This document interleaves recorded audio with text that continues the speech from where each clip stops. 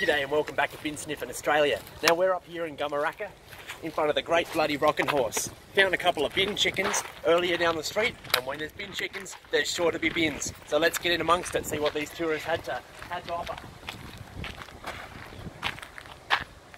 Oh, got a pretty, pretty potent one there mate. Ooh.